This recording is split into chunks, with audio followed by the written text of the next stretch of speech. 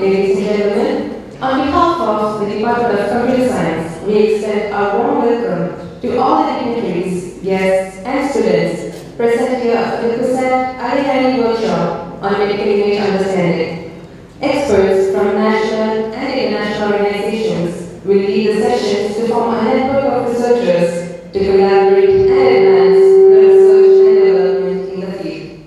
Today marks the fourth successful day of this event, and thrilled to have you all join us today. I am Lena, and along with my friend Vaishnavi, we will be hosting today's event, and together we will be guiding you through today's exciting program. Before starting today's event, I request everyone to raise for the silent prayer.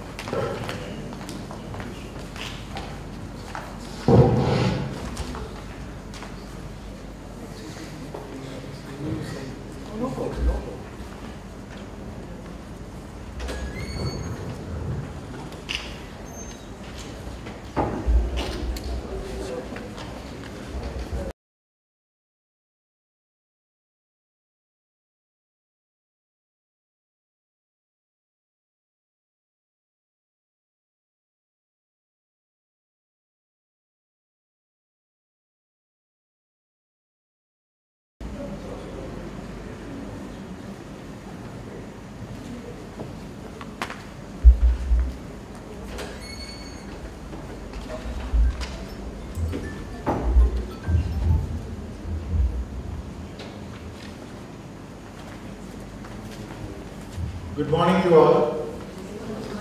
Uh, First of all, a big thanks to Dr. Madhu and Dr. Santosh for inviting me. This is my second time in Cochin University. First I was called, I think, by the electronics department some several years back.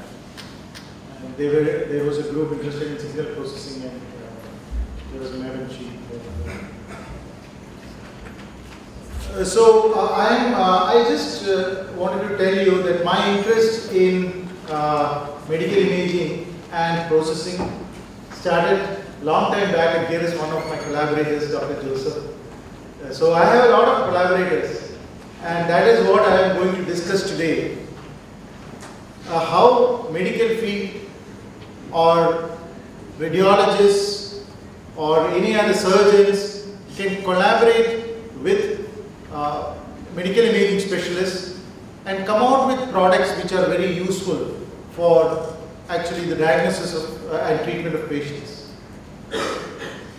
Why I got interested is one of the main reasons is because I joined this institute, which is the Sri Chitra Tirunal Institute of Medical Sciences. Some of you might be knowing about this institute. This is an institute under the Department of Science and Technology, Government of India. And the institute was mainly created to develop biomedical devices. So we have a hospital and that, that, that is the hospital The hospital is mainly looking after cardiological sciences and neurological sciences only. No other part uh, is looked into.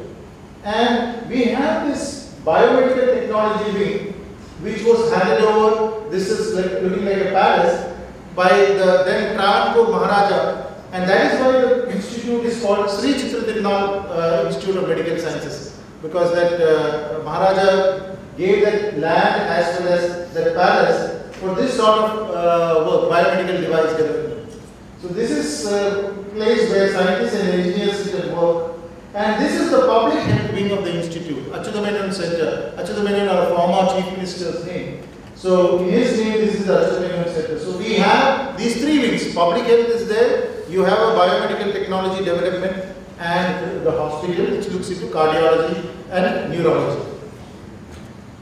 Okay, so most of my work has been mainly in neuro, neurosciences, neuroradiology uh, is the department where I work. And in neuroradiology, as you know, that over the years, when I did my post-graduation in radiology, at that time MRI was not there.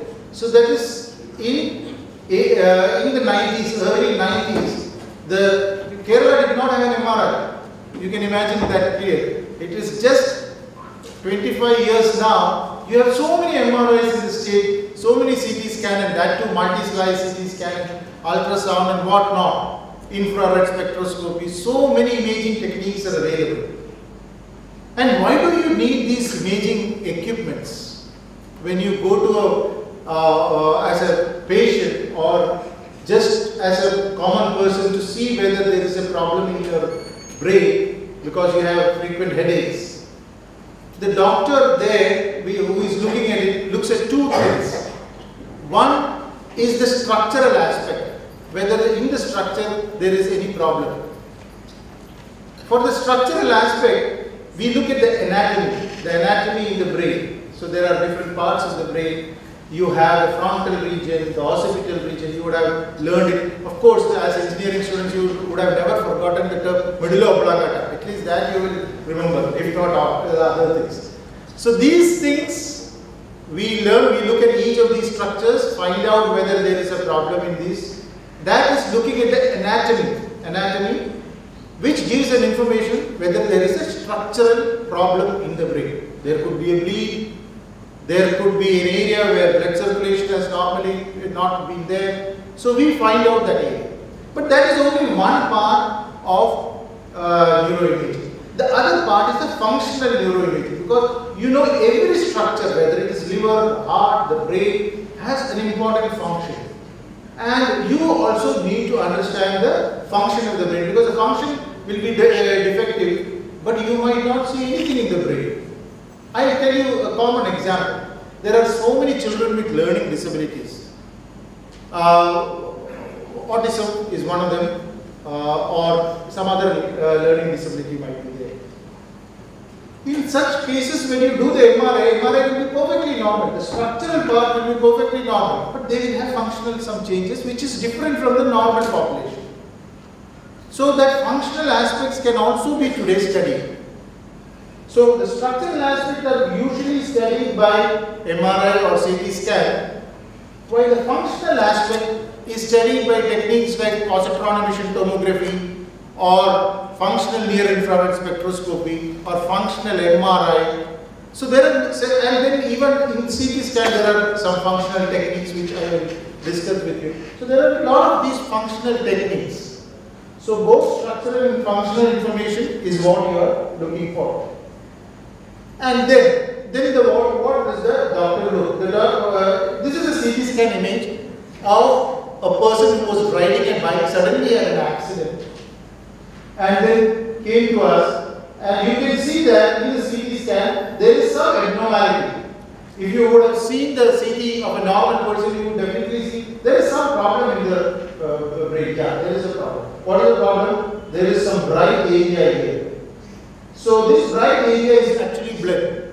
But uh, why, how did you say that it is blood? Because in CT scan and in MRI, there is these signals are there. This signal is what we are analyzing by our knowledge that if this particular signal is there, that is if it is bright, the bright area in the CT scan indicates certain things like it, it can indicate blood, it can indicate bone, it can indicate calcification. So there are certain things and that can be measured also and that is called the Hounsfield units. Hounsfield is the person uh, who discovered CT scan who was later on got the Nobel Prize also. So, so this, this with the Hounsfield units you can measure. Even without that, even by looking you can say that this is bright. But this is area is also bright and this area is also bright. So, is there blood there? There also you could ask that question. But then what I do is I have my pointer placed on this structure and look at the Hounsfield units there and find it it is near 100. And when I put it here, it is only 60. Then I understand that this is blood. And this is 100. That is because the attenuation, the, it is basically an X-ray technique. The attenuation of each of these elements, uh, the hemoglobin containing blood versus calcification is different. You will be able to differentiate these things. Similarly, I see an area which is very black the black area, if I put the pointer, it will be something near zero. It is water. So I know it is water. So what I am able to do, very important thing in MRI or CT scan, here in the CT scan, what did I do? I did something called the tissue characterization. What is the structure? What is the substance? I am trying to tell you that. Whether it is calcification or, but then you can ask the question, then can you differentiate between copper uh, iron and all, you are able to tell calcium. No, it is not possible. It might not be possible. But there are newer techniques coming in MRI by which you might be able to differentiate even structures like that. But it is far away. It is the way uh, things are going in that sort. And then there is uh, newer techniques, photon counting CT scan, photon, uh, and various techniques are coming. Even in CT scan, you should, uh, you might be able to after some time tell many of these things. So the progress in these areas are going on so that you can better characterize the tissue. Now why do you want to characterize the tissue? Because you need to know the pathology. So you look at the anatomy which I showed, told you earlier. So you look where, where it is. So here I am telling that it is in the temporal lobe. This is an area of the brain somewhere here. So I, so that is that is the where aspect of it. You have to tell, which is important because any structure, whether if it is a liver tumor, you should say it is in the right side, left side, which are the artery, which is the vein, which are the blood vessels going close to it. All these things you have to tell. That is all anatomy. And this is pathology. What is pathology? Pathology is telling what is the disease. So now you learn three terms in medicine. One is anatomy, another is uh, the uh, function, and the third functional and the third one here is pathology. Pathology is the disease, what sort of a disease is it? So by looking at the image I could say it is blood, blood in the brain. So that is the pathology. Some because of the accident he has developed blood in the brain. So mainly doctors are looking for the anatomy and pathology in the brain. I, I, I know I am going very basic so that I am talking from the doctor's viewpoint so that those students who are here might be able to understand that what a radiologist actually does. Now he gets an image when uh, in 80s uh, when we were uh, doing radiology residency that means post-graduation at that point there were no digital images for looking all were analog images the the photos that uh, old photos you would have seen in the wedding albums and all that sort of there was no digital image at that time it happened later on. Uh, in CT scan and MRI, we started getting uh, digital images. Now for X-rays also, we have digital images. And then you get a lot of these uh, numbers. Each pixel uh, has a particular uh, number there. Now, what are the things that you are looking for?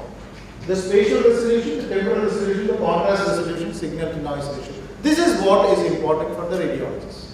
And we have technologists who know how to do the imaging and their responsibility along with the responsibility of the radiologist is to get an image with a good spatial resolution, temporal contrast and signal to noise ratio.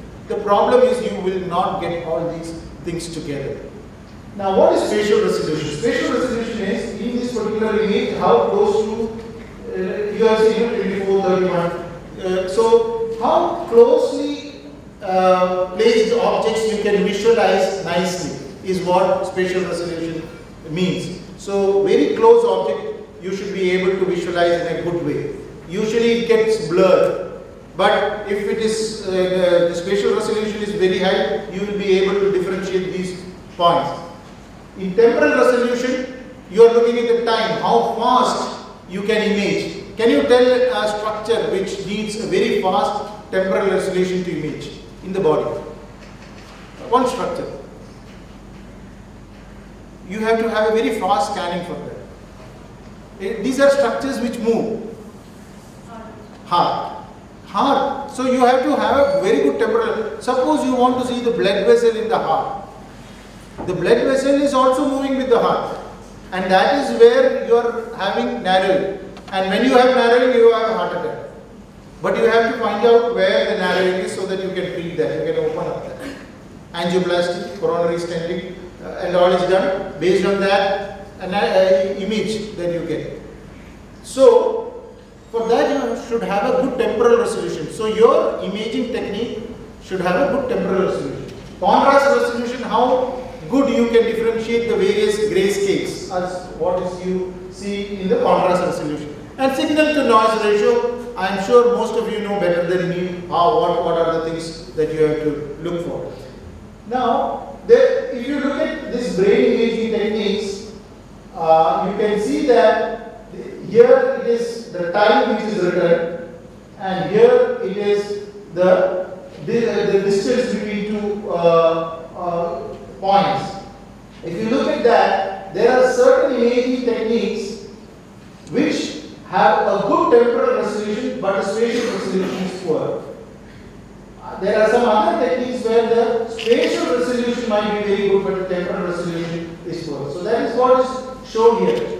But for us, for a radiologist, we would be happy if we can go get both the temporal resolution as well as the spatial resolution good.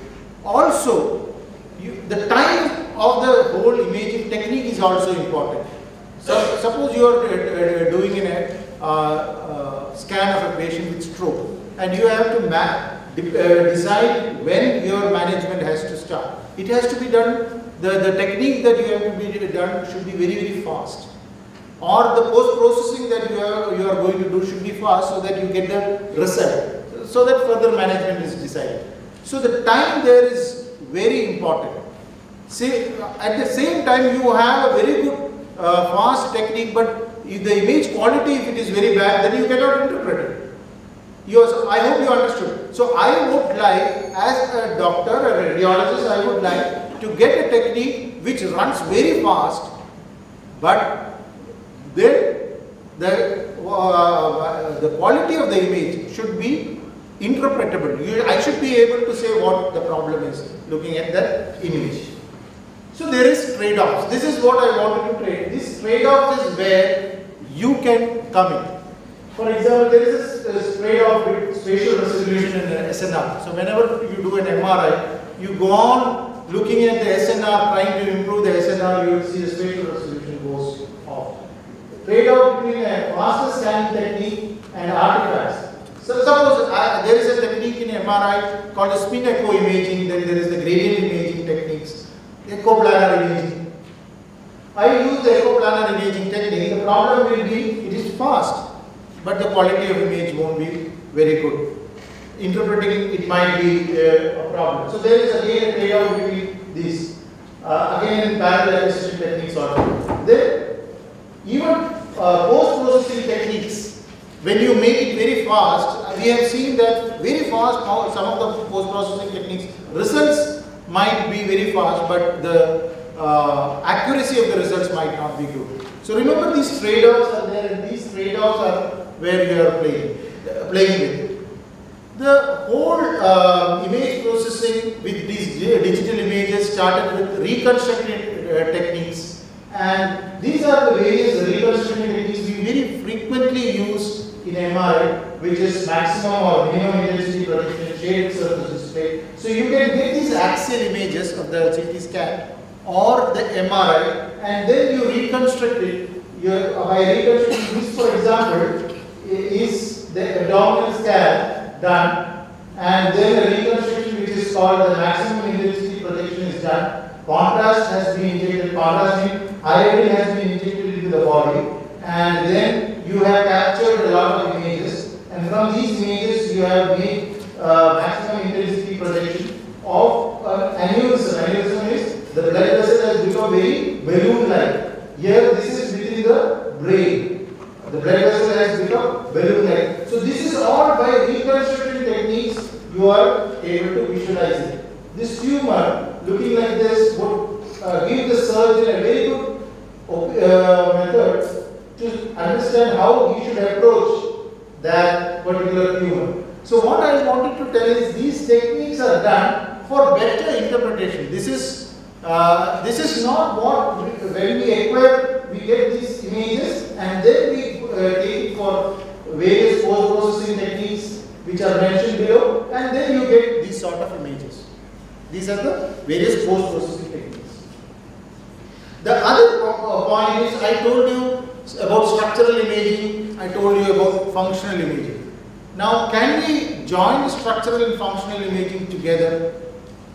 Naturally, it would be better if we can put both information together rather than today you go for an MRI scan and you have a headache, you go for an MRI scan. Actually, what the doctor there is going to do is just a structural scan.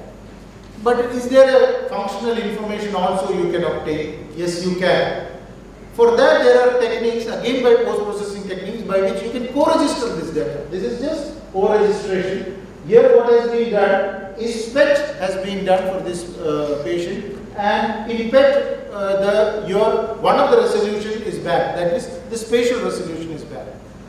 And you don't uh, really know from where these functional changes are occurring in the brain. But MRI has a good spatial resolution. So functional information from PET is taken and you put that on the structural images of MRI. By doing that, you get the functional information, your spatial resolution becomes better, and you know where the problem inside the brain is. So these are the various techniques that you can do to get more information from your images. You combine two techniques. You can combine EEG and functional MRI. Why do you want to do? Suppose a patient is having fits epilepsy, that's what it is called fits. And from where it is coming, you want to know. EEG causes many changes in the brain. Functional MRI is a technique which also picks up changes in the brain. But EEG gives the electrical activity.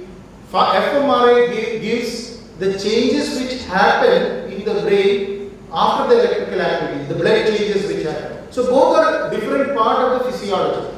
Both are different part of the function in the brain. One is the electrical activity in the brain and in the functional MRI, what are the blood changes which has happened because of this electrical activity that is captured. If you can put them together, probably you will be able to tell from where in the brain is this seizures coming, is this fits coming, so that you can operate that particular area and completely remove it. So these are these are all techniques which are done to better understand the disease by imaging methods.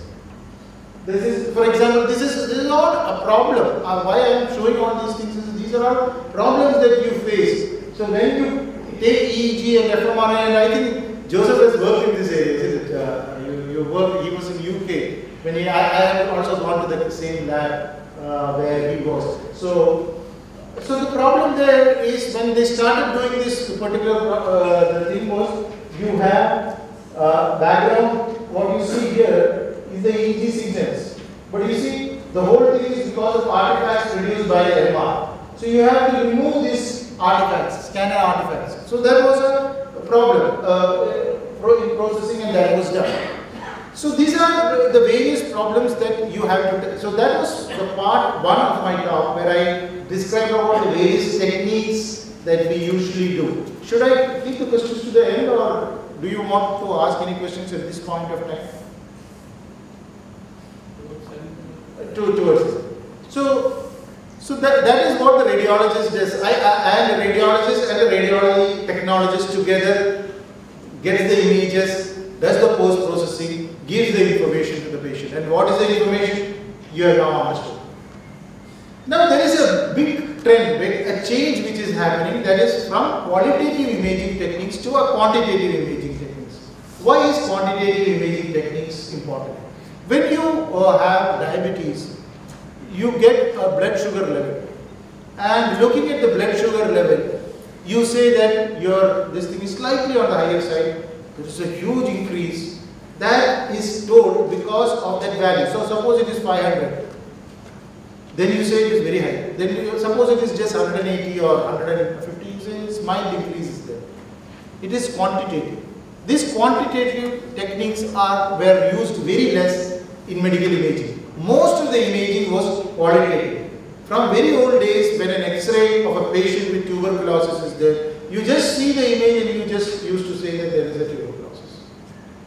But now, more and more interest is uh, there to make it quantitative. And what is this quantitative image? From an image, you get a lot of information. You uh, get an information about the number. Suppose there is, this is a particular disease called multiple sclerosis. And in a patient with multiple sclerosis, you have these white matter patches. You see this white matter patch? These are white matter patches inside the brain.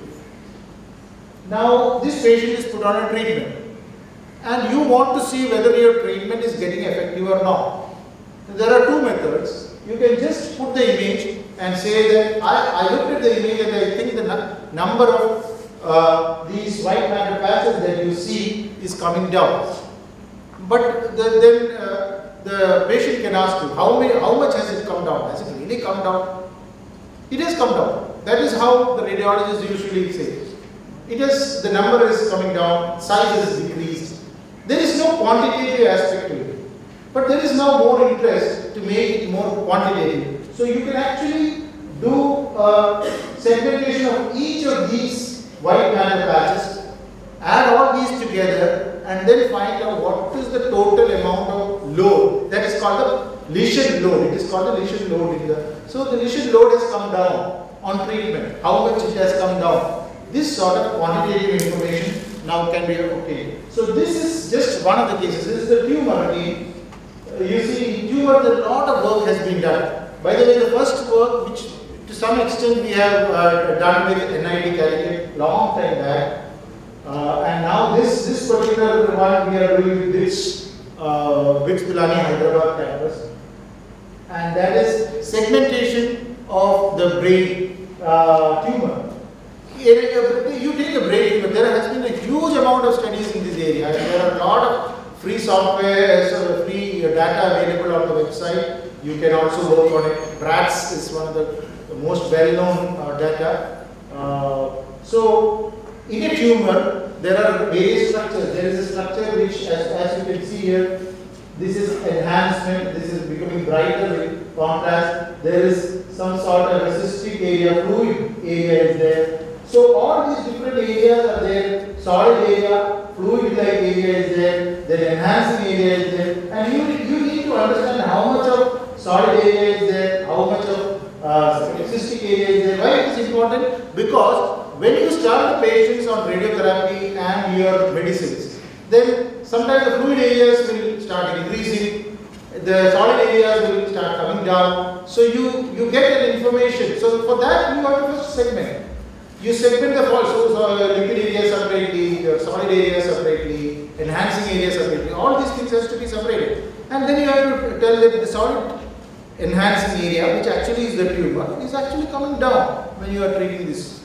So such informations are uh, all quantitative now. Slowly it is all quantitative rather than qualitative. This is one work which we have done is quantitative susceptibility management. These are all various techniques that I am describing. So before going into that, I, I just wanted to tell, in MRI, you are working with a lot of sequences. Spin echo sequence, gradient echo sequences, and you using the one particular sequence is called the susceptibility weighted sequence.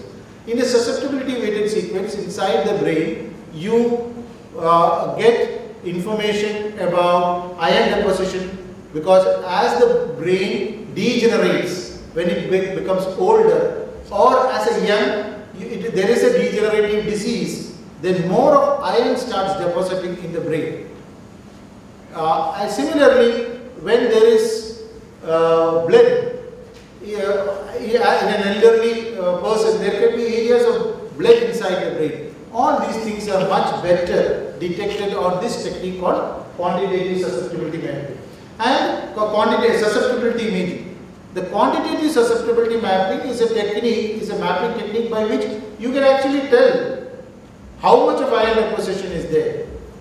You can even tell how much of this is iron, how much of this is calcium, because in quantitative susceptibility map you should you may be able to really tell between these elements. All these things are possible. This area is only developing some of the work. I think again uh, Joseph is doing some work on uh, quantitative susceptibility map also. Again, all these collaboration. I will show you some of Oh, the other is fractal dimension in uh, frontotemporal dementia. This was uh, with Ve- Venkat, who was abroad in US, who has come back now, got big study, uh, Hyderabad. With him, now we are doing on brain tumors, but the work that we had done with him was on frontotemporal dementia. So, you know, dementia is memory loss. As the person ages, Alzheimer's disease, I am sure you would have all heard about it in Alzheimer's disease, in frontotemporal dementia, all these are different forms of brain diseases which result in memory.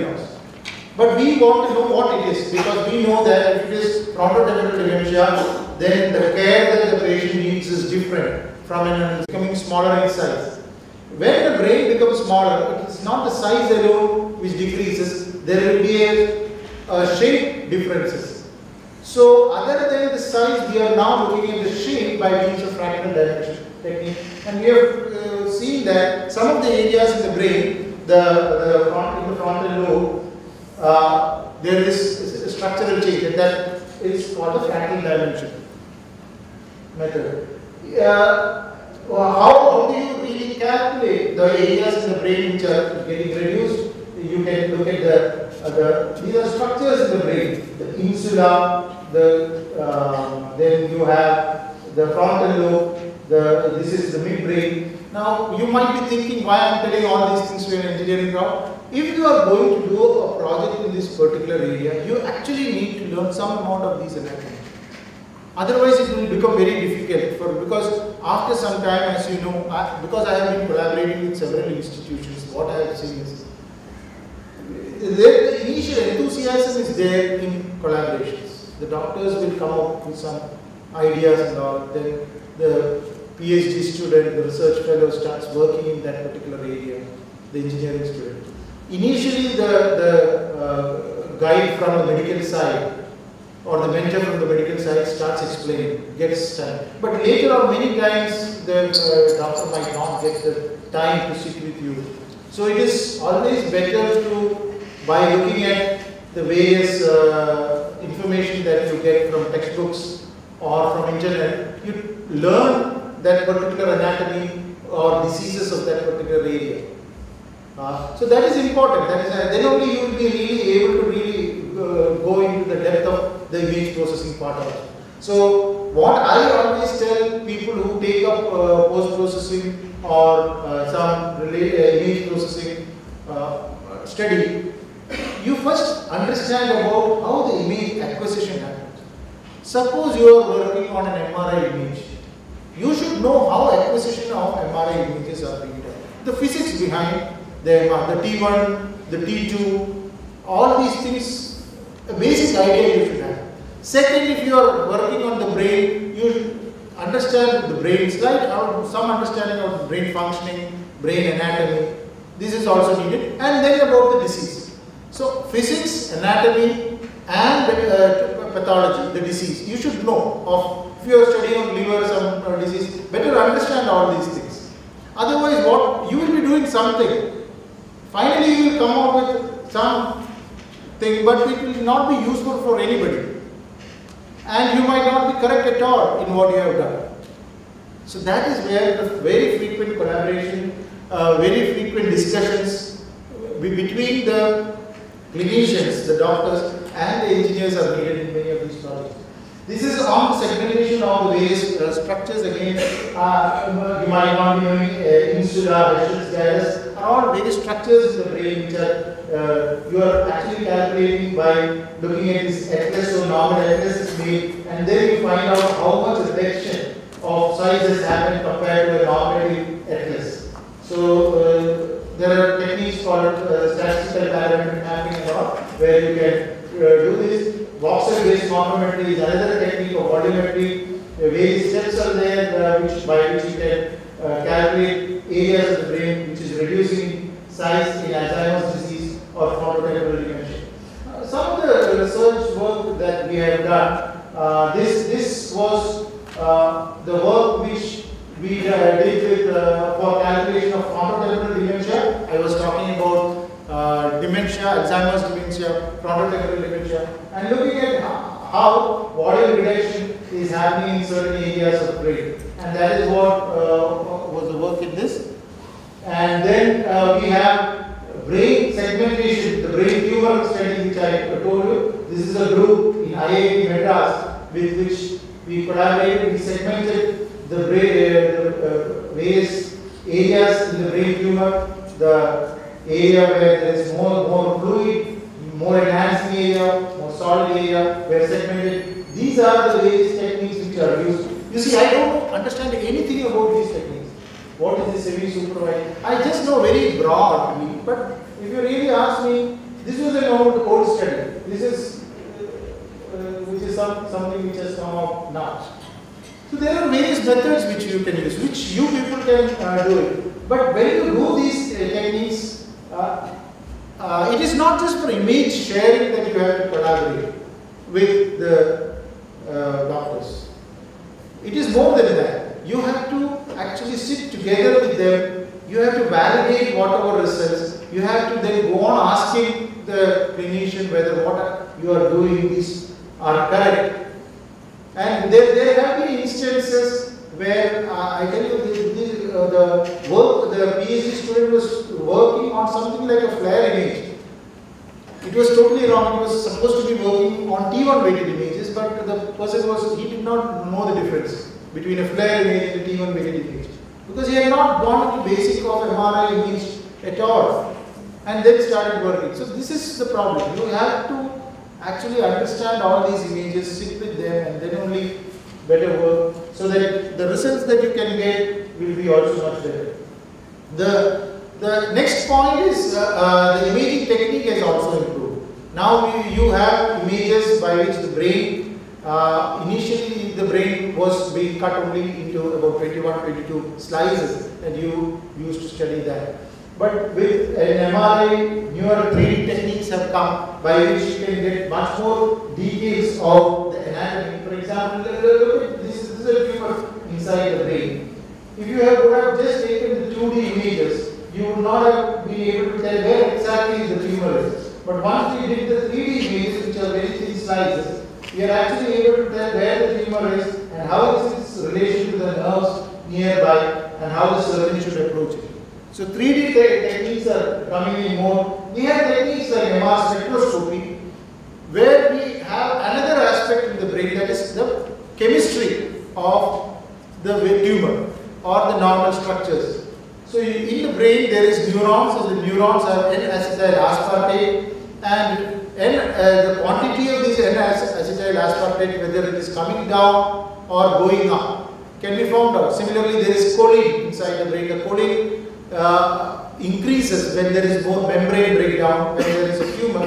So this information you can get by this technique of MR spectroscopy. This is the tumor and I understand by looking at this image MR spectroscopy whether it's a tumor which is going to spread very fast or whether, whether it is a slowly growing tumor. Then you have the functional information inside the brain which is the perfusion imaging. One of the techniques is the perfusion imaging where you get all these are maps, different maps. Now what is the difference between a map and an image?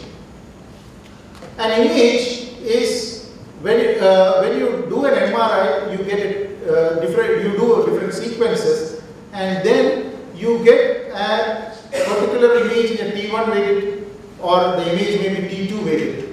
But in a map, every area in the map is quantitative. You get an information about how much of increase of a perfusion has happened. So that is, these are all maps which you get, uh, RCB, cerebral blood volume map, cerebral blood flow map. These gives information about how much of an increase, uh, quantitative info information. So you bring quantitative information to your uh, normal sequences. Going to functional MRI, uh, I don't know how, how many of you have would have uh, uh, seen or heard about this particular technique of functional MRI, where I told you that whenever there is an electrical activity in the brain, now I am talking. When I am talking, there is some areas in the brain where the activity is more. Which are the areas? One is the speech area, the other area is the memory area. So if I scan my brain now, the structural images will be same which would have been done when I was sitting in the train. There would not have been any difference because the structure is going to be same. But in the train I was just sitting silently, nothing, not uh, just closed eyes or sleeping. So now, but now I am talking, so there, there are certain areas in the brain which are getting active, which includes the speech area, the memory area, because from the memory I have to talk. So these areas, the blood is increased in that area. There is electrical activity coming in these areas and there is naturally the blood to that area increases and the blood that increases to that area can be captured by means of a technique called blood oxygen level dependent imaging technique. And that is what is done in functional MRI. So here the patient is uh, seeing some structure like this, the checkerboard and activity in the brain is happening in the, that this area is the active that is uh, lightened up. That is what is called the functional MRI. Now functional MRI is slightly different. When you go to a hospital here in Kochi and get an MRI done, usually they don't do functional MRI. Functional MRI is done for a particular reason. They do a routine MRI technique where you get the structural information only. But to understand the various uh, like language functions in the brain, you have to do the fMRI, functional MRI, where the patient is shown certain things like the checkerboard is shown or certain other or maybe sceneries are shown, some sentences are shown. And when these are shown, the patient actually, patient or the person who is lying down uh, will be will be thinking and those areas where the blood circulation is increasing that can be captured. Also responses can be given. So this is an fMRI setup which is done not in all institutions, only in few institutions. This is regularly done, especially neuroscience centers. And then you get uh, information like this. For example, there is a tumor in this person and the tumor has to be removed. Now what the surgeon wants to know, the neurosurgeon wants to know, is how close to this tumor is the hand area. The hand area, if I move this hand, there is an activity happening in the brain. Where is that active area in the brain? Is what you are finding out by means of this fMRI technique. And I have done it. I have asked the patient to move both the hands. And at that point of time, I see that the tumor is here and the active hand area is close by. So the surgeon is going to know that you should not go too much behind. So that this area, otherwise what will happen is they go too much behind, after the surgery patient will not be able to move his hand. So that information you get with the fMRI study. So we regularly do this. This is not done in many centers. I, in, Kochi, there are only one or two centers which just Calicut also. So we have only few centers do this, but the advantage of this is you are actually telling the patient beforehand, before the surgery, that we may not be able to completely remove this tumor because if you remove, them, you will have weakness. So the rest of the things we will do by radiation. So these are the functional information that we are trying to get. And this was uh, done actually a research study with uh, an institution in Hyderabad where, where we were looking at how depressed persons versus normal people do neuroeconomics. Have you heard about neuroeconomics? Neuroeconomics is a branch where uh, you your selection process is identified. How you go to, a, for example, you go to a supermarket. There are different types of uh, soaps there. You are selecting one type of soap. and or the, in the stock market you are say, selecting one particular company stock. How do you do select these things? Which areas in the brain gets activated? Is it normal in a person who is having depression versus a person who is normal, so-called normal? Uh, and we saw that those who are depressed, they make a lot of mistakes. They, because their mind is not focused, they make mistakes while choosing, and that, that difference we could understand. So these are the sort of functional MRI studies. Why I showed you two cases? One is clinical study. The earlier one I showed is for patient management. And this is not at all a clinical study, it's a research study. And if you see the literature of functional MRI, huge amount of such studies have been done. How does meditation uh, affect your brain? Uh, all these things have been studied. Or uh, say uh, your attitude, whether you are telling a lie or not, all these things have been studied. Uh, I don't want to go into because uh, details of that because the studies that we have done on this research side on functional MRI is relatively less, and we have concentrated more on the clinical aspects. And now the uh, issue of fMRI was always that you had to have that particular all those uh, paraphernalia for doing it, and it could not be done in all the place. Then there came this particular technique of resting state fMRI. And uh, the resting state fMRI was first paper of resting state fMRI came from an Indian guy working in US. He might get a Nobel after some time. So uh, his name is Bharat Biswal. That was the first paper on uh, proceedings of National Academy of Sciences.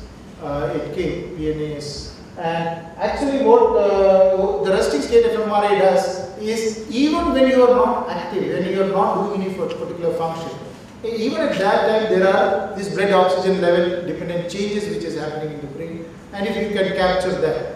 So uh, why, how it is important for me as a radiologist is suppose a patient with epilepsy is coming, fits is coming and I want to operate that uh, person and I want to tell where the language area is. These uh, children may not cooperate for the function that I uh, tell the patient to do. But if they are just asked to lie down, in the resting state also you can get this information. That is resting state fMRI. Now are you doing it? The next question you can ask me. No, I am not doing it. I am not doing it regularly because I don't have engineers with me. I do not know about all these things. You know, graph theory, independent component analysis, dynamic causal model. There is a huge role. That is where what, what I wanted to tell. Many of these technologies are available, but we are not using it. I am very sure that Rahul, you are here, you, uh, in Norway or in the West, there are so many engineers which close to doctors and you apply all these things. We are not able to do it because if you see a hospital, you go to a hospital, can you even imagine the engineers, some four or five people sitting and telling all this? No, it is not there. We have never had that sort of a working together. The culture is not there. We have a biomedical technology. We have a hospital. But I think that we need more people collaborating. We should, the engineers should, and scientists should more frequently come and sit together so that we will be doing this more, this all these things. This is, most of the work that we did was part of some PhD thesis or a project and it stops at that.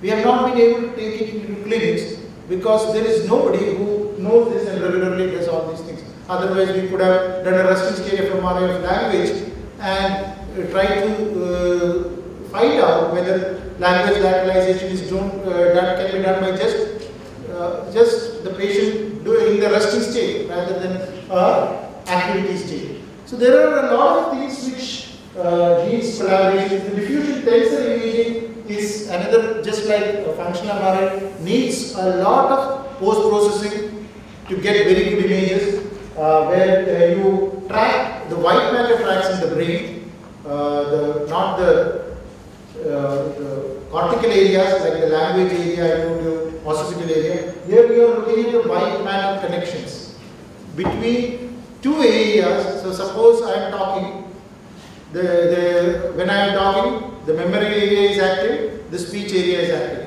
The first area which might be getting active is the memory area. From there a wire has to go to the speech area. And then from the speech area, a lot of impulses has to go to the tongue and all so that I can start talking to you. So there is a huge complex process which is happening. And there are a lot of wires which are connecting these areas and these can be visualized by means of the uh, diffusion tensor imaging. Uh, and the, in the diffusion tensor imaging also, uh, we have worked on, on this particular condition called frontotemporal uh, dementia. This is the work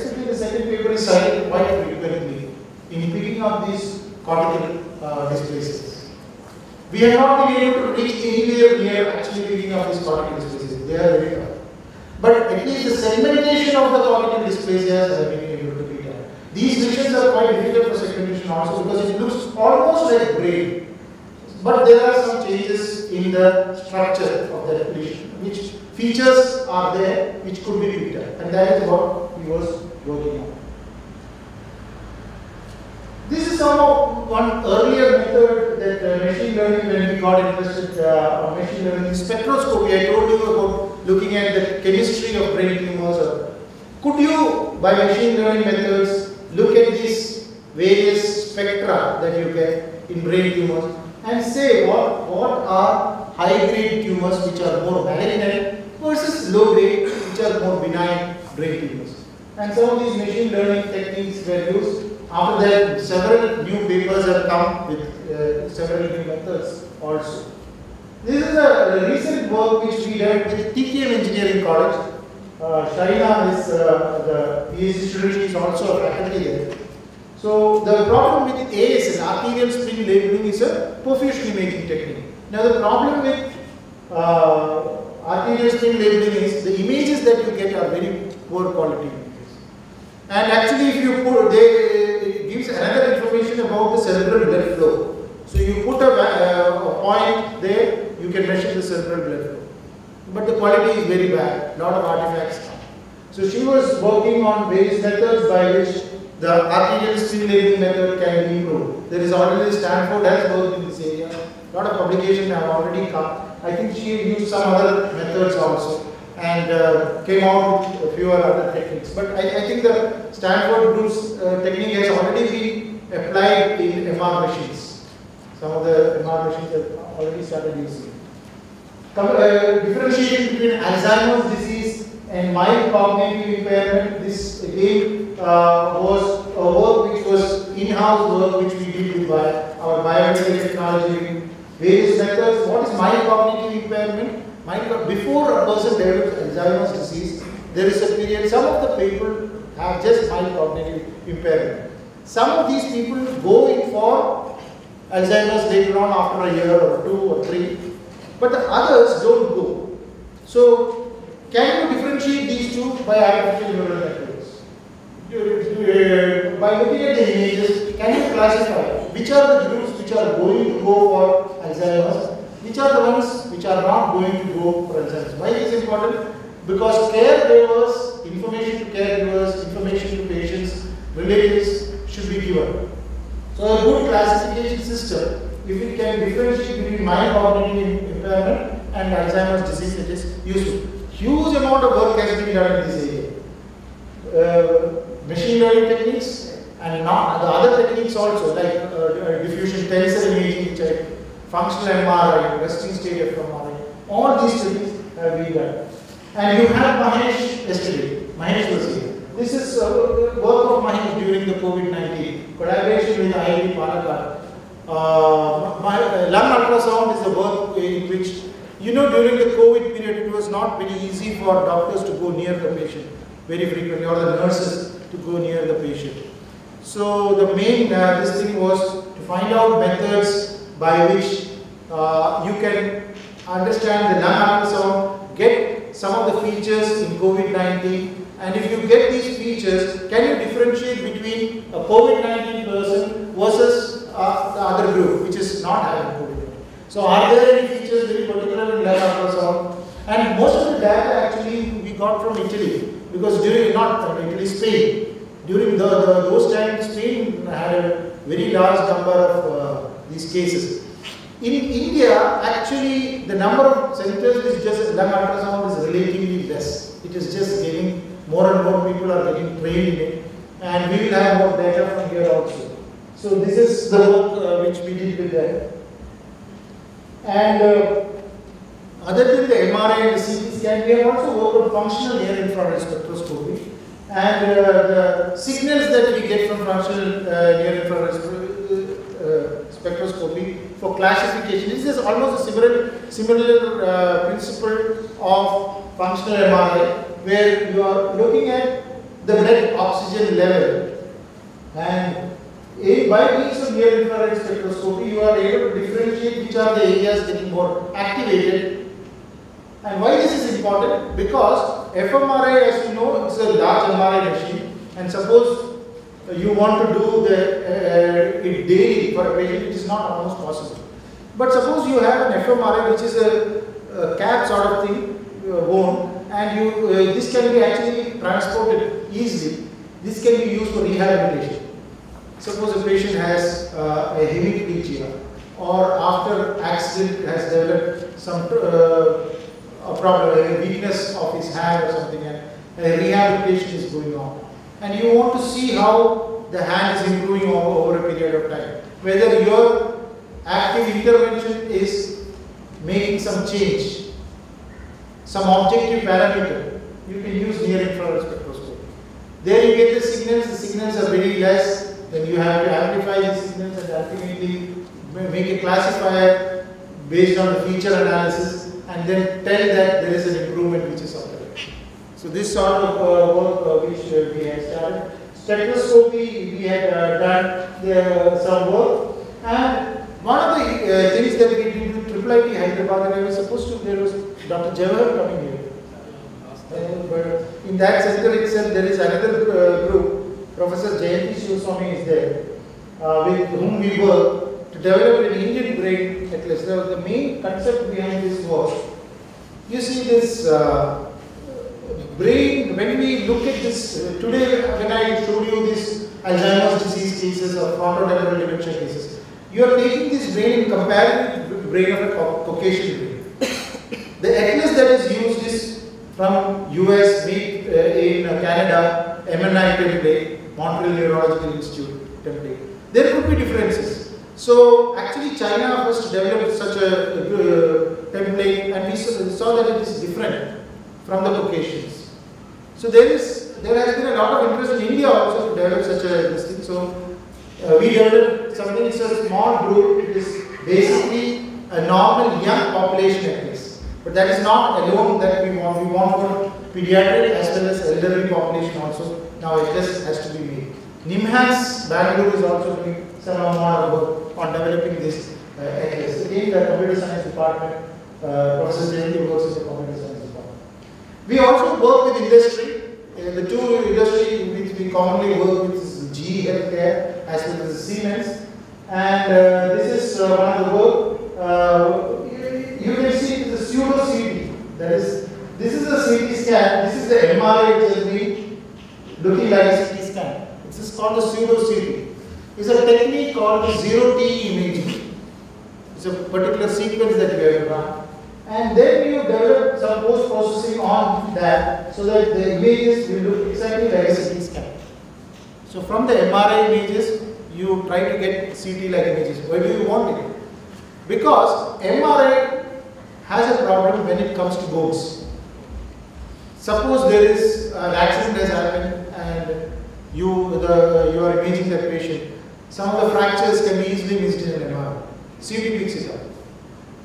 Similarly, there is a tumor which is close to the bone, then again, what is the destruction it is causing to the bones can be found out very well by means of CT scan. Here, this is the uh, tumor which is causing destruction. MRI almost does a similar quality, but some of the features are not identified. So this is pseudo CT, again done by the GE engineers, and we have a collaboration with them. And uh, so, so we, we we are now working. Now, we, there, there, there was a PhD student from Kerala University who was interested in this work. But I think after COVID, she has not uh, taken the same interest, so the papers have not come up from that way. Uh, similarly, with ASL, uh, multi-delay ASL, we are working with them, with the G. And the Siemens, we are working on synthetic MRI. What is synthetic MRI? I told, told about quantitative MRI. Synthetic CT I told, told you with MRI. Synthetic MRI is another, another technique by which you just do one sequence. By doing one sequence, you can get T1, T2, FLAIR, all these things you can get. And not only, these are all maps also. If you put a point on these things, you will be able to get the T1 relaxation time, the T2 relaxation time. So you get a quantitative information. So synthetic MRI is a quantitative method and there is now this new technique which is coming in which is called MR fingerprinting. Just like your genetic fingerprinting and from the genetic finger- fingerprinting you are able to tell about the individual, the diseases the individual has. An MR fingerprinting has been brought up by the Siemens and it is already in market now. Where if you do the brain, a normal brain will have each area having a particular T1 value, T2 value, all these values will be there. And when the disease comes, these values change. And what the, the software does is compare this normal T, T1 values with this, they call it dictionary, a normative data. And then say that what abnormality is there and what is this sort of abnormality. So just an area which is coming up and it could after some point of time be very important. The, I don't think in India any institution has MR fingerprinting uh, software or the uh, method of uh, doing it. Synthetic MRIs, of course, there we are having, we are working on synthetic MRI in multiple sclerosis patients. And we are also working on radiomics and radiogenomics. Now, what is radiomics and radiogenomics? Now, when you get a brain tumor, there are a lot inside the tumor. There are a lot of features which are there. It is not just the features that of, of the intensity and all these things, but many uh, features are there which I do not understand very much. But you, the skew deviation, for example, I don't know what really really means. Isn't it? There are a lot of terms which you use, and all these terms comes under radiomics. Looking at all these features now they are developing an algorithm by which you can tell this tumor is of this particular type and this tumor has a survival of this much. All these things can be predicted. This sort of a treatment is, should be given for this group of uh, tumors, all based on radiomics. And there are softwares which are developing on radiomics. And what is genomics? Any tumor has the genetic part also by molecular profiling by pathology. And today or tomorrow you are having a talk from a pathologist also, I think. So you will be able to understand what is this molecular profiling and genomics. So if you com can combine this data of genomics as well as radiomics, it will be extremely useful. Only problem is these data are all huge data. That is where the big data, your computers or high-end computers all are needed. But radiomics and radiogenomics we have already started giving to our residents, doctors. The problem with them, they do not know how to do it, anything. That is a problem, no? I, I was telling our main problem is we don't have engineers to support us in these things. We are just doing something and no, nobody will accept it. If we do that work, who will accept it? Because we don't know what, what uh, we are uh, seeing is correct or not. So there is also some communication uh, problem. Uh, we have to sit more often together, then only we will be able to come up with these techniques, these quantitative techniques.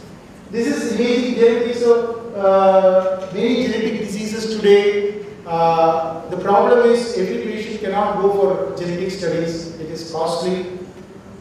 So can you image? Image is you are just getting an information by getting an MRI done, which is a much more simpler technique, anybody can get it done. So it's not a problem. So if you can get the information of genetics through imaging methods by correlating the genetics and imaging, then again it will be useful for treatment of tumors and epilepsy.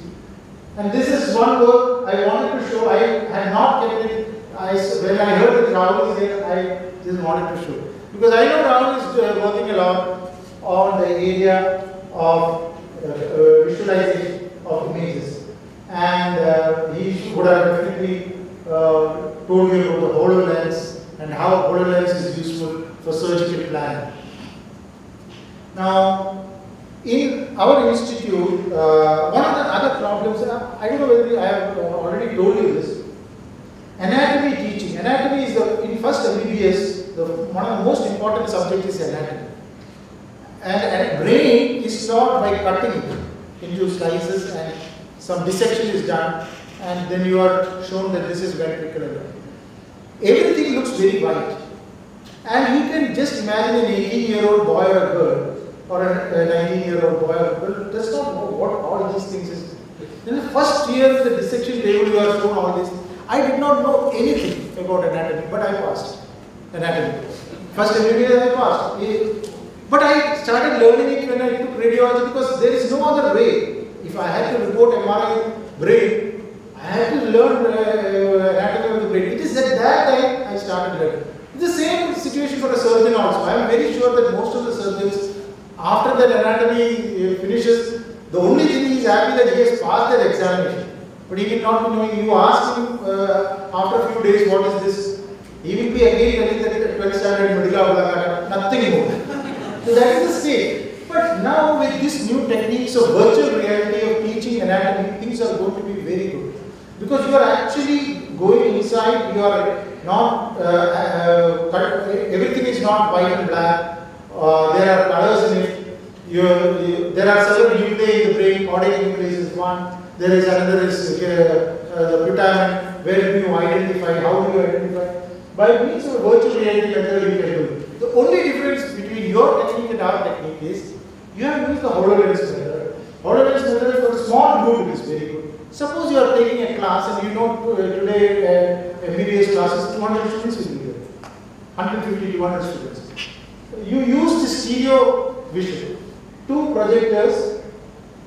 You use these two projectors and there is a special screen circuit and then you do this 3D visualization. This is a DST sponsored project which we are doing with Professor Jayanthi Sivaswamy, IIIT Hyderabad. Anatomy Department of Medical College Trivandrum is also collaborating with us. So uh, this is already actually if you see, you know, uh, there is in Siemens uh, uh, software, there is something called cinematic rendering.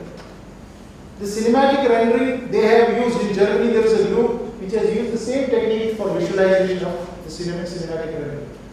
So it becomes much more easier for anatomy students to learn uh, the, the, this thing. Your technique is definitely good for small groups, but if everybody wearing a is almost quite difficult.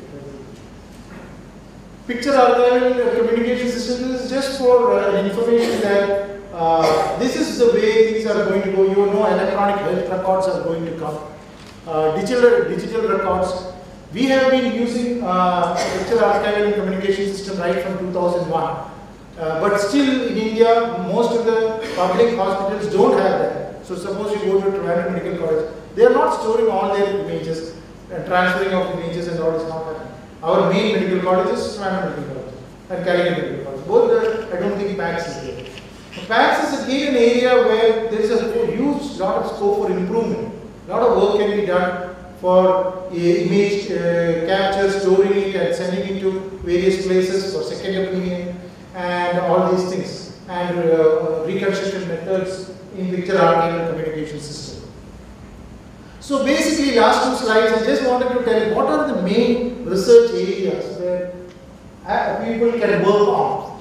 The first one might not be of that much of interest to a computer science audience that is on the hardware side uh, and also to some extent the software side also. Image, can the image acquisition, can you do something? Image acquisition means when you are getting the MRI images, the CT images, uh, or X-ray, or near-infrared spectroscopy, or EEG, or any signal, can you work on the hardware side? For example, in MRI, it is like developing a new radio frequency coil, or a new sequence development in MRI. You know the sequence development in MRI, you can, can you imagine India, there are no places where sequence development in MRI is done. With so many IITs that we have. Because why I am telling is, we are doing an Indian MRI project. The Indian government has asked us uh, as a part of in India, not us, the Ministry of Electronics and Communication, to develop its own MRI. Huge funds are being given. But we are not able to near, reach anywhere near it because sequence development, development is not happening here. So uh, that is the thing. Or the CT, ultrasound, optical, imaging, cath lab, all these things is in the, on the hardware side. Image reconstruction type, Datesh is already come, Datesh from, so he has done a lot of work, he is coming today. So he has done a lot of work on image reconstruction uh, techniques, so you get uh, images whether this, uh, for a very long time, CT scan we were using filtered back, back projection. Now, after the iterative reconstruction techniques have come in the CT scan, I think it is a great discovery because pediatric patients who were getting radiation of about 5 to 6 grade, which is very bad. These children are later on leukemia. Now are getting less, less than 1 grade. So, so such a good technique, the iterative reconstruction techniques have come. So your reconstruction techniques actually can play such a big role because patient safety also is improved. So that is so important. And then post-processing techniques where, as I was in the resting state FMR, DTI, these are areas where a lot of work uh, can be done and contribution from engineers is expected. Machine learning, of course, you are having a lot of talks on that. But what we are doing, very simple research, what we are clinicians alone can do, as doctors alone can do, is this. Uh, the clinical trials so you develop some tools, or Siemens develops a tool, or an engineering college develops a tool and gives us. We can do the clinical trials on on a mutual agreement, MOU being signed. So there is a need for collaboration. And this is what I was asked when we were, I met Babu uh, when he uh, uh, went to the railway station. The first question he asked, how do we collaborate? How do you start collaborating? You have seen that I, have been able to collaborate with several institutions, probably because I was in, uh, in the institute, City Institute. Now, when you uh, uh, undertake any project, and if it is a PhD work, you have to really go into the literature and find out whether it is clinically useful. How much of work has already been done in this area? How much data you can get? How many centers are ready to collaborate with you? All these things are important. Suppose you do a project uh, where you take a very rare disease and you are trying to work on that particular area, you might not get enough data. So your ultimately whatever you are finally coming out with will be of no use. So look at that and then already some person when I go for talks like this in engineering college, so I want to do some work on volumetric. If you see brain volumetric, people have been started working on brain uh, right from 1995, 96. See papers. So by now, these areas are not the areas that you should take. You should take more challenging ASL, noise reduction in ASL, which I showed you, China is doing. That is a challenging area. Or QSM, which Joseph uh, and his group is doing. That is a challenging. Take newer areas where there are challenges. Less number of work has been done all over the world. Don't look at just the Indian literature. You should always look at the world everywhere. Get good uh, papers and the work which has been done and then start. Your research question is very, very important. So, and it should be clinically useful. And at that point of time, if you start doing a collaboration, you're the doctor, whether it is a radiologist or a cardiologist, whoever, they will tell you that, okay, this much work has been done and I don't think you should do or this is a good area to work with. So it should be clinically useful. Avoid taking projects and methods which are already been studied several times. I have already told you. Understand patient management. So this is what I was telling you. Many people start doing projects here without understanding the physics of capturing of an image. So suppose you are a good photographer, you should know how the camera works. Otherwise, you will be a good photographer, you may do some image processing on your uh, computer, you may get a good image. But if you can work, manipulate your camera well, your images you may not need to do some of the image processing methods. At that level itself, you can solve the problem. You understand the physics well. Second is, as far as the disease is concerned, understand about the anatomy. If you are studying your brain, understand the anatomy of the brain very well. Some amount of functions in the brain and some information about the pathology of the disease that you are working on. Suppose you are working on perineural invasion, you should know about head and neck tumors. What are the tumors which spread through the nerves uh, and what are the areas which are the areas which you have to uh, look for. This basic idea, even if you are working on pathology, you should be doing it. Otherwise, you will work on that area, but uh, it is a half-hearted work. It, uh, the full, you should know, understand the disease very well. Validation of research, and that is where the clinicians play a very important role. You are doing a particular work, and this uh, Joseph and I, so we had meetings regularly previously when he had the PhD student. He develops something, then I go to his institution or he comes to my institution, we sit together and then look at the images and say that, okay, this image is good, this image is not good. That sort of a validation of results has to be done. So if you can, you have so that is why you have to have from the clinical side. So the, this is one image I am always interested in uh, because this is the what imaging has, what has happened in imaging over the years. So I, I am sure Joseph here would agree. I know Joseph and I are almost similar age. We studied uh, Earth with these atlases, no? Joseph, you remember we at that time we never thought that we could use have a Google Google. Huh? No, no, no. What, what I'm talking is most of us when we study school, in the school, we studied about atlas of the brain, but we never thought that there will be a Google map which will show our university. Isn't it? We never thought about it. The same thing happened in brain also. Brain, at the time that when I studied epidemiology, we only talked about some atlas, some pathological atlas, frontal lobe, temporal lobe and all these things. Today from that level, we are talking about circuits in the brain, multiple uh, you see circuits, connectomes in the brain, connectomes in the brain, circuits in the brain. From this level to this level, so it's a huge change which has happened. And I, I tell you, most of these changes has happened because of the collaboration between engineers and doctors. We, good collaboration, that is where we have not been able to do the way that Western universities have been able to do. Our collaborations as far as in India it's much less than if you see. Rahul will agree with me, isn't it? It is very comparatively less. And let this symposium be uh, thought, you should actually think of methods by which we can improve that. Institution, identify institutions where this collaboration is possible. and uh, better networking of institutions. If you are talking about data of brain tumor and you collaborate with Sri Chitra alone, you won't get much data. You collaborate with Sri Chitra, Tata Memorial, NIMHANS, All Institute, or some other medical colleges who are interested, put a good uh, this thing network, submit it for funding. There is chances of doing, uh, getting the fund and doing a better work is much more. You get a better data. Thank you very much. Questions, if any?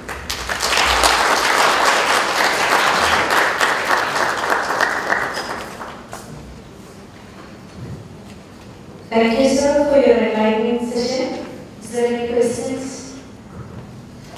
Some interesting things in literature that came up. So when we were talking about QSM, so are there any possibilities of relating these? So you, we mentioned about resting state and all.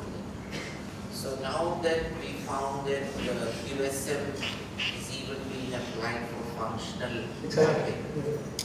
So, uh, in that instance, is there a possibility that we can monitor the mean arterial pressure variations?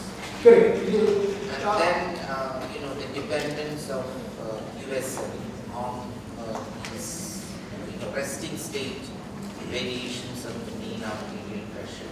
I am not uh, sure about the pressures whether you can measure, but at, at least the oxygenation you will be able to measure. The pressures may not be that easy. Oxygenation, for example, there has been uh, work by Jalandhar Neeravali, which has been published. You mean uh, non-invasive? Non-invasive, using QSM in a fetus, in a fetus. Uh, That's different. I'm uh, talking about, uh, suppose there is a patient lying on a scanner and uh, if you can monitor the pressure variations. that using QSM might be very difficult. Because I- I, found one paper and they are mapping these pressure variations to the QSM values. So what they claim is that there is, QSM is sensitive Okay. to these uh, mean arterial pressure variations and with that they're able to decouple the uh, venous and arterial. Okay, I, I, I do not know that, uh, because arterial that's an interesting pressures, arterial pressures, but even if you can measure the oxygenation, that itself is. Yeah. Because at present you have to do a PET for that, which is costly. If your oxygenation values in the brain, you can get, suppose a person had a hypoxic injury suddenly, or uh, stroke or something, and you want to know the oxygenation and salinity of the brain. Presently, you will not be able to. You will be able to tell how much blood flow is there, circulation is there, but oxygenation is not. So even that would be a good.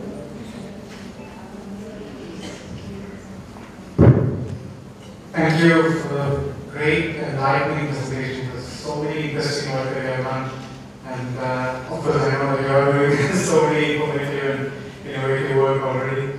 Uh, some of the uh, that I can just is that the neuroeconomics part, the synthetic MRI, they were very informative for me, completely new to me.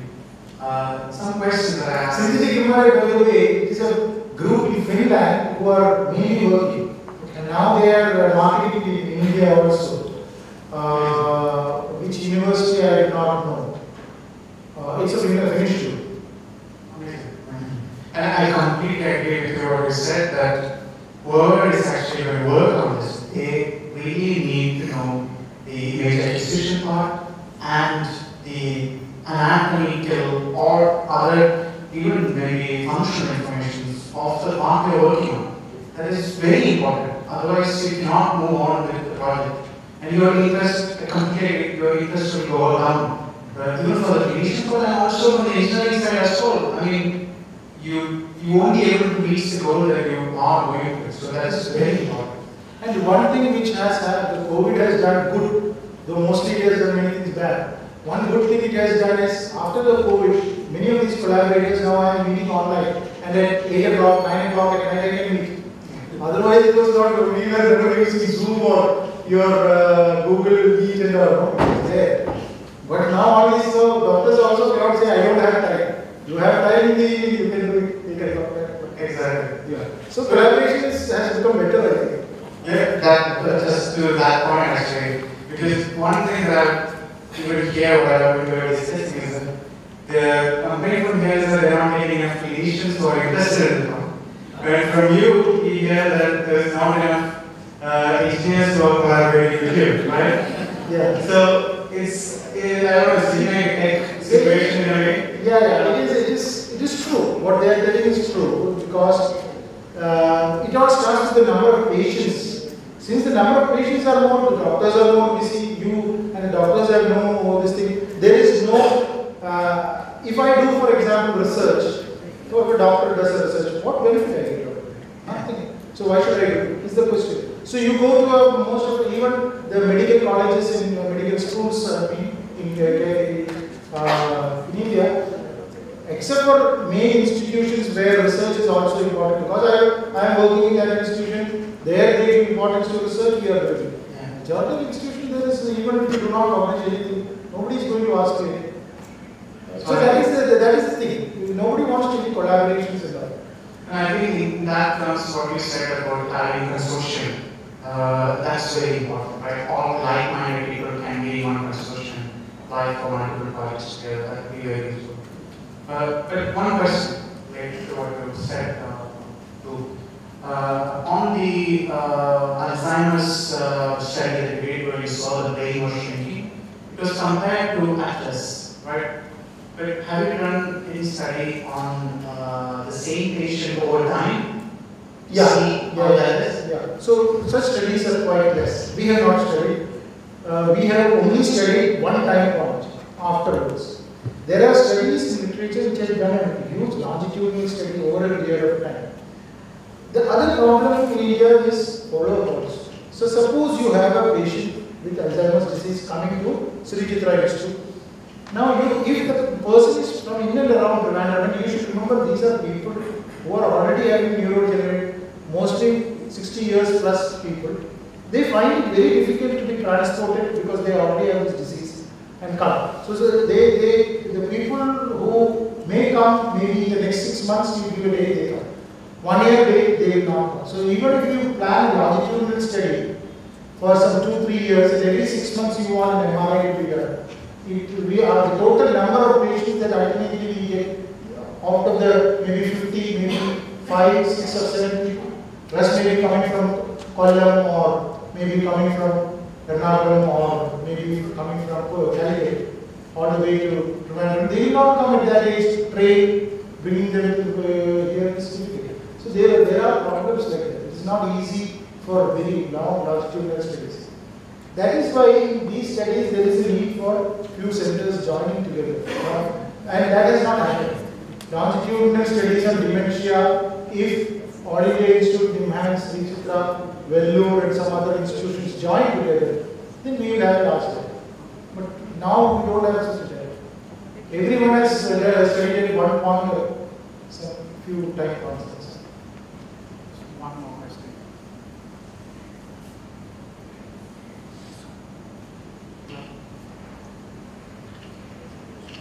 Okay, maybe I. The one of the questions that I know during your bachelor's time you were working already at that time with epilepsy and uh, SPECT and MRI, right? So are you still using SPECT imaging? Uh, why not? Uh, First of all, SPECT is not there in our institution. We have to send the patient outside. That is point number one. Secondly, SPECT, uh, mainly our, uh, for neuro, neurological diseases, uh, epilepsy is one uh, disease where SPECT has a role. Uh, interictal SPECT is called.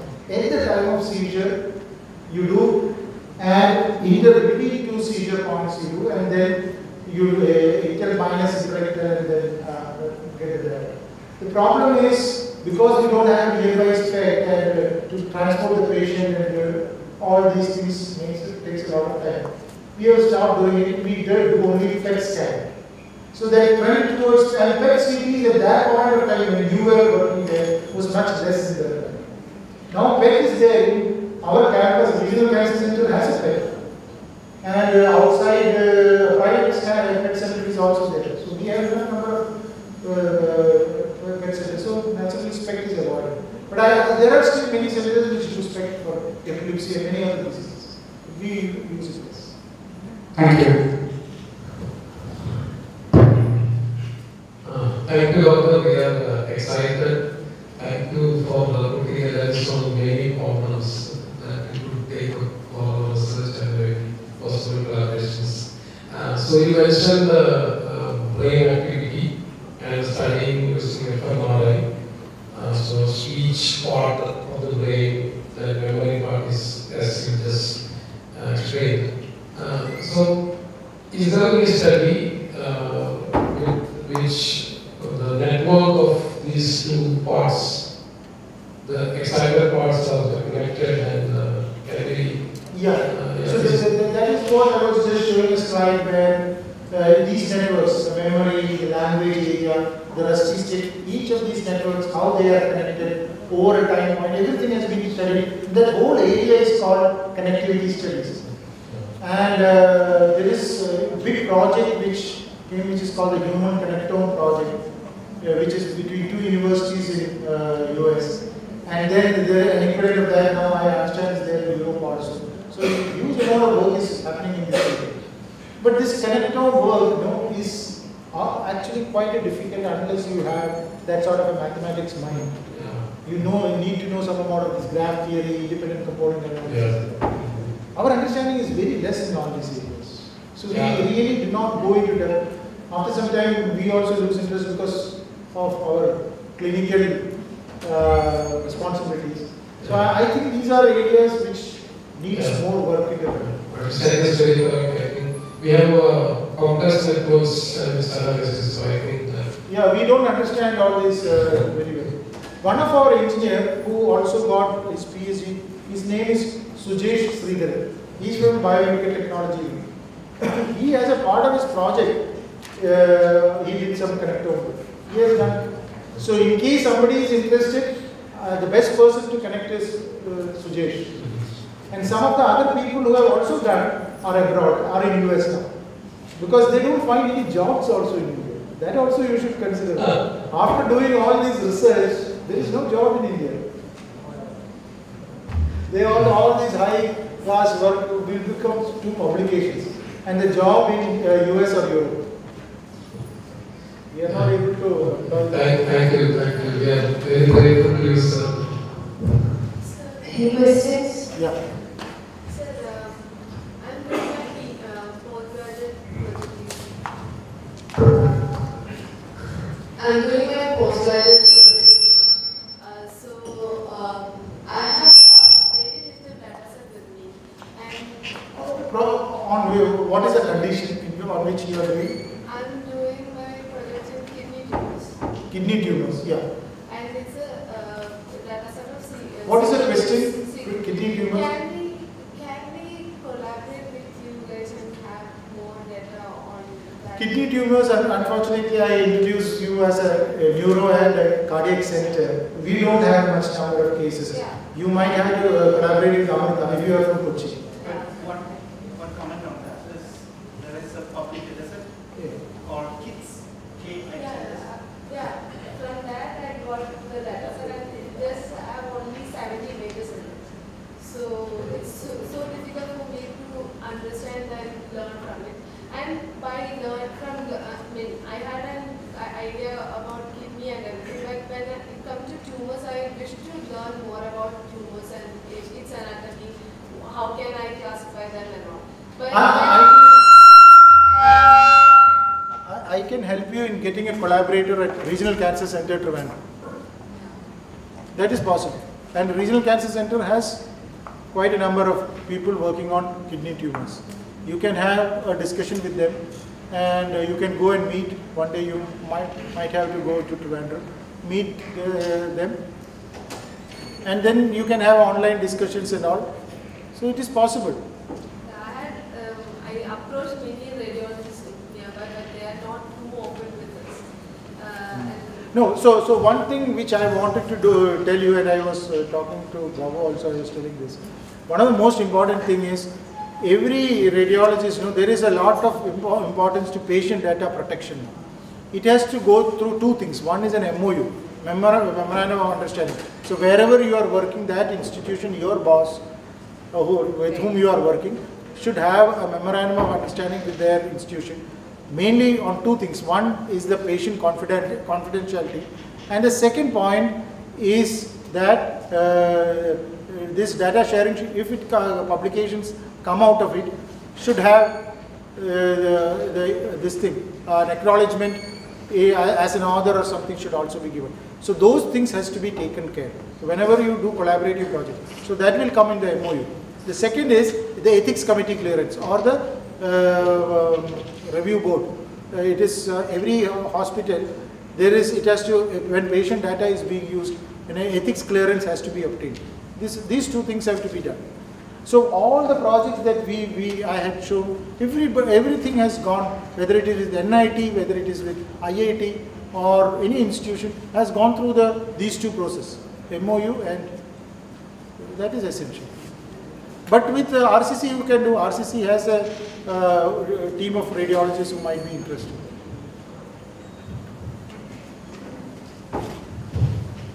Uh, Sir, Yeah. uh, thank you first of all for your lucid uh, presentation. It opened the wide area. Like uh, I have one, uh, I mean, I wanted to take a suggestion from you. Like, from where should we start reading the anatomy of brain? Like, could you Yeah, please yeah. some books? Yeah, so anatomy of the brain, if you, uh, if you are doing an anatomy, uh, uh, brain-related project, first you start with, the, most of the literature at present are available in the internet itself. And there are actually very simple textbooks. I can tell you one simple textbook is I- Inderbir Singh. It is called, uh, written by an author in India, Inderbir Singh. Uh, Inderbir Singh, yeah. And it uh, gives a very uh, simple way of explaining. This is the book that is uh, read by an uh, MBBS students in the first year of anatomy. You can have an overview. You need not go into the depth in the way that an MBBS student goes, but you can get an overview of it. And then you have uh, uh, good articles in the internet also, which will also help you with. And I have one question, sir. Like, as you told this uh, neuroeconomics, so some of the terms are going very fancy nowadays, like dopamine, cortisol, serotonin, and the hormones or the neurotransmitters. So, how if you start working on these domains like neuroeconomics and uh, neurotransmitters, so how significant is this work? You are telling if you are working on, these are actually hormones, it is not hormones, it's- they are neurotransmitters. Between two neurons, how the communication happens is through these chemicals, dopamine, serotonin and all these things. So if you are working on those, those areas, uh, wh- why do you want to work on those areas? Any particular question is there you have? Uh, not particular questions, I just wanted to know whether you start working in those areas, so how significant are those? They, they are very important. For example, all the Parkinson's disease and Parkinson's group of diseases, movement disorders they are called, are all because of abnormalities of these neurotransmitters. And there are many other conditions also in the brain. I uh, told the very common condition Parkinson's, which is due to problem there. The issue here is uh, some of these neurotransmitters, as, you- as you know, are chemical things which you may not be able to image presently. But there is this technique of positron emission tomography, where you inject a radioligand and that radioligand goes and it has an affinity in the brain to some of these chemicals. And those areas where there is an abnormality, it will pick it up. So there is a disease called Parkinson's disease and there is another disease called Parkinson's plus disease which is uh, uh, multi-system atrophy, uh, names are there. You would like to differentiate these. It is possible with uh, this radionuclide studies, PET. PET scanning can do it. So what are the imaging studies if you ask, it is related to PET in uh, this thing. But more sort of studies, I think biotechnologies would be better to answer them. But imaging wise, what I told you is through using PET, you can uh, study these, some of these neurotransmitters.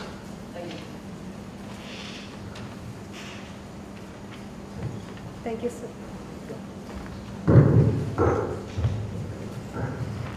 Thank you, sir. We would now like to present a token of gratitude to Dr. C. Kesavadas for his presence and for sharing his valuable knowledge with us We kindly invite Dr. Anwar Sheikh, Coordinator, in part INID Project Norway for the same.